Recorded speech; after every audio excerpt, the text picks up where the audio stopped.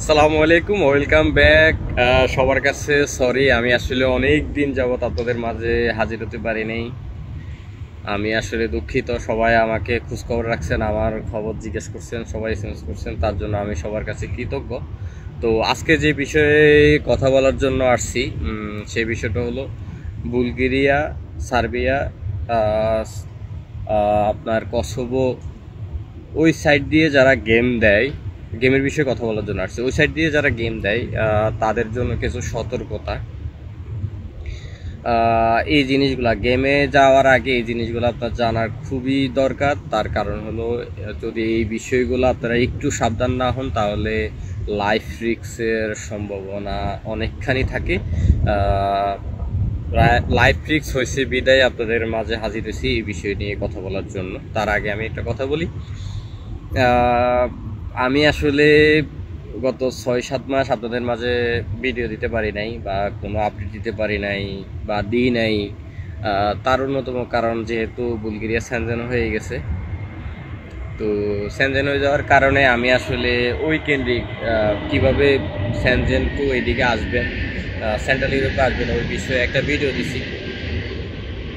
দেওয়ার পরেও অনেকেই দেখতেছি যে আমাকে এসএমএস করতেছে কল দিতেছে তারা আসলে কীভাবে গেম দিবে বা বিভিন্ন সমস্যা সমস্যার মধ্যে পড়ে। তো এই বিষয়ে আমি একটা ভিডিও দিব যে আসলে বুলগেরিয়া কেন্দ্রিক আমরা গেম না দিয়ে কীভাবে মালিকের থেকে আমাদের সকল রকমের সংগ্রহ করে আমরা কীভাবে এদিকে আসতে পারি আসলে স্যানজেন হয়ে যাওয়ার পরেও যখন আমরা মালিক রিসিভ করে রিসিভ করার পরে পাসপোর্ট অথবা ভিসা রেখে দেয় পাসপোর্ট রেখে দেয় টিআরসি রেখে দেয়, তারপরে আমরা কীভাবে ওনাদের কাছ থেকে এইগুলো উদ্ধার করে আমরা আসলে গেম অন্য দেশে চলে আসব। ওই বিষয়ে আমরা আসলে কথা বলব কোনো একটা ভিডিও নেক্সট ভিডিওর মধ্যে।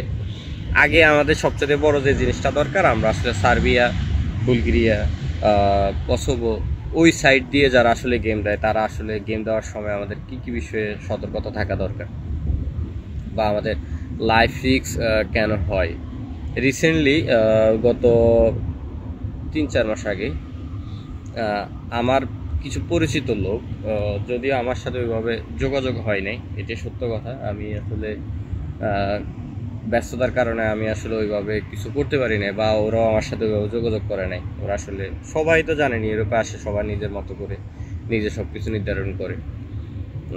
তো আমরা যখন আসলে গেম দিই ধরেন সার্বিয়া হয়ে সাপোজ আপনার সার্বিয়া আসে না অথবা কসোভো হয়ে যদি গেম দেয়, অথবা যারা বুলগেরিয়া হয়ে গেম দেয়, আমাদের কিন্তু অনেকগুলো দেশ পড়ে। যেমন বুলগেরিয়া থেকে যদি আমরা গেম দিই, সার্বিয়া, আপনার সার্বিয়া গেম দেওয়া লাগে, সার্বিয়া টু বসনিয়া গেম দেওয়া লাগে, বসনিয়া টু স্লোভেনিয়া গেম দেওয়া লাগে বসনিয়া টু ক্রোশিয়া গেম দেওয়া লাগে ক্রোশিয়া টু স্লোভেনিয়া গেম দেওয়া লাগে, স্লোভেনিয়া টু ইতালি গেম দেওয়া লাগে। তো ইতালির পরে হয়তো আমরা আস্তে ধীরে যে যার গন্তব্য চলে যায় কেউ ফ্রান্সে যায়, কেউ স্পেনে যায়, কেউ পর্তুগাল আসে। তো যে যার গন্তব্য যায়, কিন্তু আমাদের মূল যে গেমগুলো হয়, ওই গেমগুলো কিন্তু আমাদের ওই অঞ্চলে বেশি গেম হয়। যেমন আমাদের সার্বিয়া, তারপরে বসনিয়া, ক্রোশিয়া, স্লোভেনিয়া, এই সাইডটা আমাদের গেমের মধ্যে থাকতে হয়। তো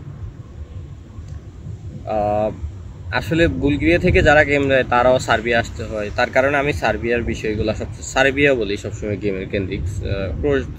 স্লোভেনিয়াতে যারা আস- তারাও সার্বিয়া আসতে হয়। মন্টেনিগোতে ওইদিকে যারা থাকে ওই সাই- সাইডের যে দেশগুলো আছে, ওই দিক থেকেও সবাই, যেমন তুর্কি থেকেও যারা আসে, তারাও কিন্তু সার্বিয়ার উপর দিয়ে যেতে হয়। তো আমরা যেখানেই গেম দিই এখানে সার্বিয়ার, স্লোভে বসনিয়ার উপরে দিয়ে যেতে হবে। যেহেতু বসনিয়া মুসলিম কান্ট্রি শরণার্থীর জন্য বেস্ট দেশ, তার কারণে বসনিয়ার মধ্যে কোনো সমস্যা হয় না, বিদে আমরা আসলে বসনিয়া কেন্দ্রিক কথা বলি। তো সার্বিয়া থেকে আমরা যখন গেম দিব গেমটা বসনিয়ার যে গেমটা ওই গেমটা আমরা আসলে অল্প কিছুক্ষণের মধ্যে আমাদের গেমটা হয়ে যায়। হয়তো কারের মধ্যে থাকে আর না হয় সাধারণ যে লাইনটা আছে হয়তো এক রাত্রে ওয়েট করে নদী পার সাগর আপনার খাল পাড়ে অথবা নদী যায় বলেন ও পার হয়ে আমরা বস্তির মধ্যে ঢুকে যাওয়ার পরে আর গেম কেন্দ্রিক কোনো পেরেশানি থাকে না বা পুলিশ ওইভাবে ডিস্টার্ব করে না। আপনি আহ, বস্তিয়ার বর্ডারে ঢুকে গেছেন তো পুলিশ আপনাদের কিছু করবে না? আপনি সাধারণ যে গাড়ি আছে, বাস আছে, অথবা বাস যদি আপনারা না নেয়, তাহলে ট্যাক্সি আছে এগুলা দিয়ে আপনি বা আপনার যে দালাল আছে বা যে ডঙ্কার আছে, ওই ডঙ্কার আপনাকে গন্তব্য নিয়ে যাবে। তারপরে আমাদের আসলে অরিজিনাল যে গেমটা হয়, সেই গেমটা হলো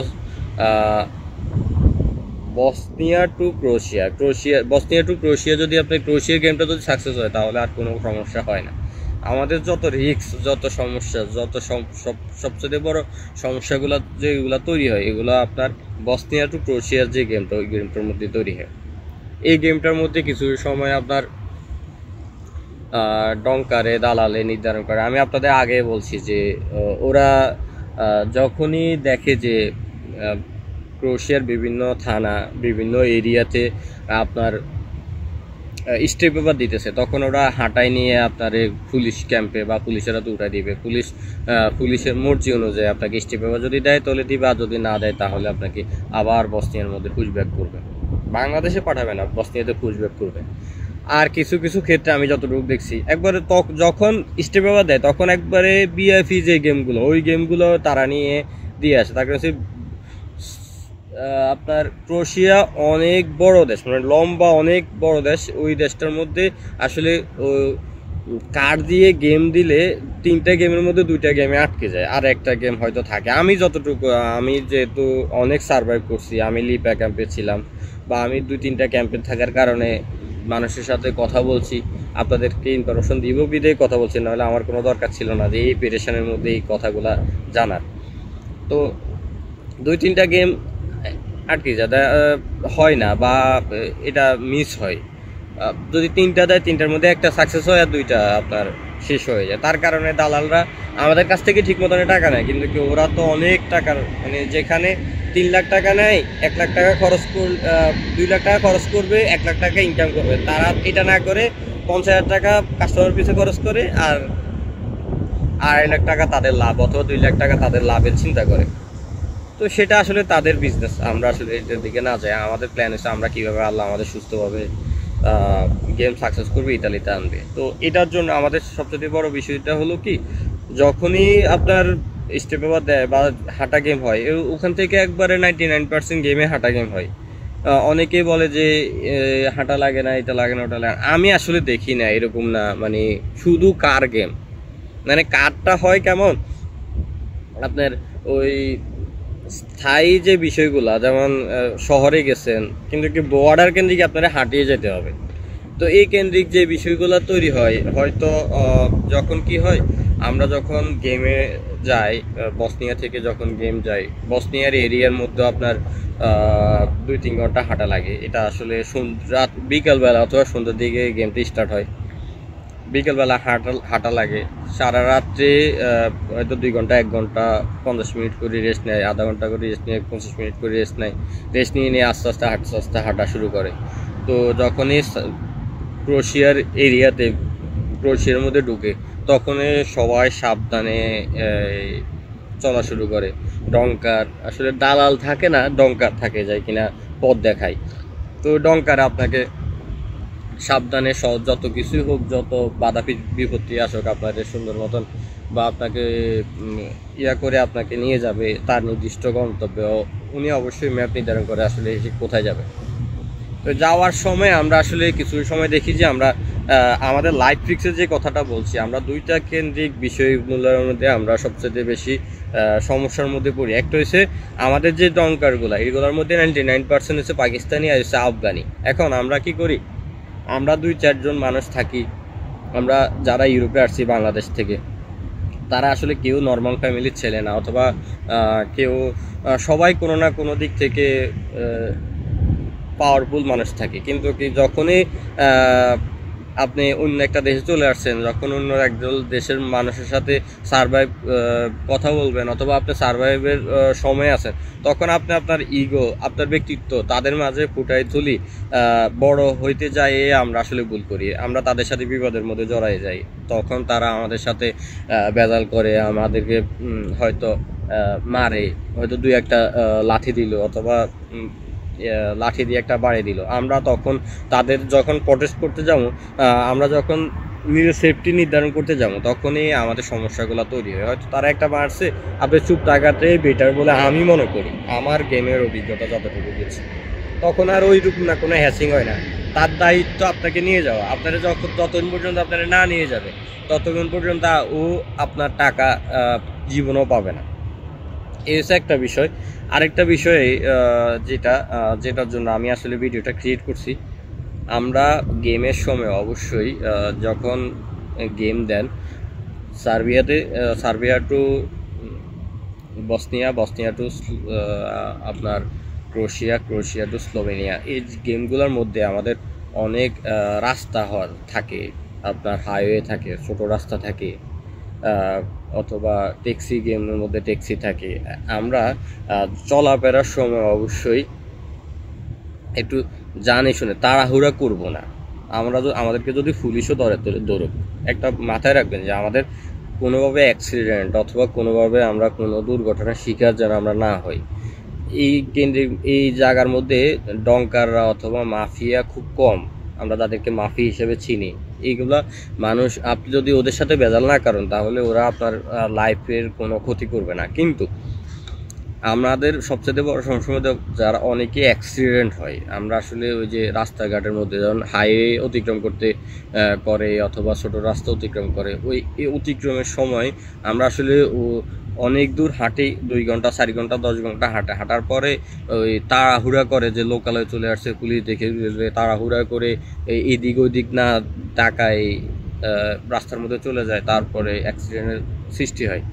আমরা আসলে এই বিষয়গুলো অ্যাভয়েড করব। আমরা, আমার খুব কাছের কি বলব এই বিষয়টা আমার আপনাদের কাছে শেয়ার করা উচিত। আমার খুব কাছের একটা বন্ধু গত তিন মাস আগে আপনার গেম দিছিল। গেমের সময় আহ, ওনা- ওর সাথে একটা গ্রুপ ছিল। ওরা নিজেরা নিজেরা আসছে গ্রুপের মধ্যে। কি সবাই গেম দিয়ে সাকসেস হয়ে ইতালি চলে আসছে স্পেন চলে গেছে ফ্রান্স গেছে। কিন্তু ওর কোনো খবর তিন দিন পর্যন্ত চার দিন পর্যন্ত আমরা খুঁজে পাই নাই। না পাওয়ার কারণে। কোন দালাল দিয়ে ওরা গেম দিছে সেটাও আমরা জানি না। কীভাবে গেম দিছে সেটাও আমরা জানি না। তারপরে যখন আসলে ফ্যামিলি থেকে খবর পাই, আমরা আসলে অনেক খোঁজাখুঁজি করি। তারপরে ওরা যখন গেম দিয়ে সাকসেস হয়ে আসে, আমরা ওদেরকে জিজ্ঞেস করি যে, ও কোথায়? ওরা দুই একদিন পরে বলতেছে যে, ও নাকি অ্যাক্সিডেন্ট করছে। ওই অ্যাক্সিডেন্টটা ছিল ক্রোশিয়ার হাইওয়েতে এখন ক্রোশিয়ার হাইওয়েতে অ্যাক্সিডেন্ট করার পরে ওদেরকে, ওদেরও আসলে কিছু করার ছিল না, যে ওদেরকে যে দালাল যারা ছিল, ওরা তো একটা গ্রুপ ছিল, তিরিশ চল্লিশ জন ছিল। দালালরা নাকি বাঙালি, আমাদের বাঙালি যারা ছিল তাদেরকে নাকি টানে নিয়ে আসছে। ওরা দুই তিনজন অ্যাক্সিডেন্ট হয়েছে ওরা, ওদের কোনো, এখন পর্যন্ত তাদের কোনো খবর নাই, অনেকে বলে মারা গেছে। আসলে আমি বিশ্বাস করি না যে মারা গেছে, যেহেতু আমি দেখি নাই। এটা মেনে নিতেও কষ্ট হয়। তো আপনাদের সবাইকে অনুরোধ জানাব যে গেম যদি দেন, আসলে গেম তো ভালো জিনিস না বা গেম সব সমাধান না। তারপর আমরা যারা আসলে, আমিও গেম দিছি, আমি আপনাদের কীভাবে না করব, আমিও পরিস্থিতির শিকার। আপনারা হয়তো পরিস্থিতির শিকার হয়েই গেম দেন। তো গেম যখন দিবেন পরিস্থিতির শিকার হয়ে যখন গেম দিবেন তখন অবশ্যই এই বিষয়গুলো খেয়াল রাখবেন যেন কোনোভাবেই তাড়াহুড়া করে আমরা অ্যাক্সিডেন্টের শিকার না হয় আমরা যেন কোনোভাবে কোনো হাইওয়ে কোনো রাস্তা, ছোট রাস্তা, বড় রাস্তা যেই হোক না কেন, যাই হোক না কেন, আমরা কোনোভাবে এই রিস্কটা নিব না যেন আমরা অ্যাক্সিডেন্টের শিকার হই। তখন আসলে আপনার যে কাছের বন্ধু, আপনার যে আত্মীয় স্বজন অথবা আপনি বাংলাদেশি, আরেক বাংলাদেশি ভাই আপনাকে হেল্প করবে, এই সুযোগটা কখনোই আপনাকে পাবেন না, তারাও পাবে না আপনিও পাবেন না। তো সবার কাছে অনুরোধ রইল, গেমে নামার সময় অবশ্যই সকল ইকুইপমেন্ট যেমন আপনার খাবার, পানি, জামা দুই একটা একটা, দুইটা জামা কাপড় তারপরে যদি পারেন মোবাইলের মধ্যে চার্জ দিয়ে রাখবেন পাওয়ার ব্যাংক নেবেন সব কিছু নিয়েই আস্তে ধীরে গেম দিবেন, যখন সাকসেস হওয়ার পসিবিলিটি অনেক বেশি থাকবে। সবাই মানে অনেক পারাপারি করবে গেম সাকসেস করার জন্য, তাড়াতাড়ি চলে যাওয়ার জন্য। তখন কিন্তু এই তাড়াতাড়ি করতে গিয়ে জীবনে রিস্ক নেবেন না, দয়া করে। আস্তে ধীরে গেম দিবেন, সুন্দর সাকসেস হবেন সবার জন্য শুভকামনা। আসলে যেহেতু আমি জানি না আমার বন্ধুটার কি খবর, তো ওর জন্য দোয়া করবেন, ও যদি মারা যায় তাহলে ব্যস্ত নসিব করো। কাজ যদি বেঁচে ফিরে থাকে, অসুস্থ অবস্থায় থাকে যেখানে থাকুক, সে যেন তার ফ্যামিলির সাথে যোগাযোগ করতে পারে, এটাই সবচেয়ে বড় বিষয়। ধন্যবাদ, আসসালামু আলাইকুম। রহমতুল্লাহ বারকাত